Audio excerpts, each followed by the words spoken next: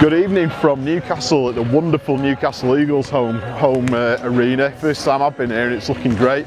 So after a slightly disappointing result the other night against Montenegro, GB have got a tough one tonight against Germany. But the players are looking pretty focused. See Ovie Soko out there getting uh, getting loose and limber. Gabe Olaseni is going to be looking to come up big. So they're going to be looking to their big, their main guys, the Ovies, the Myles Hessons, the Luke Nelsons. Tough game, big difference in rankings in the team, but tonight it doesn't mean nothing.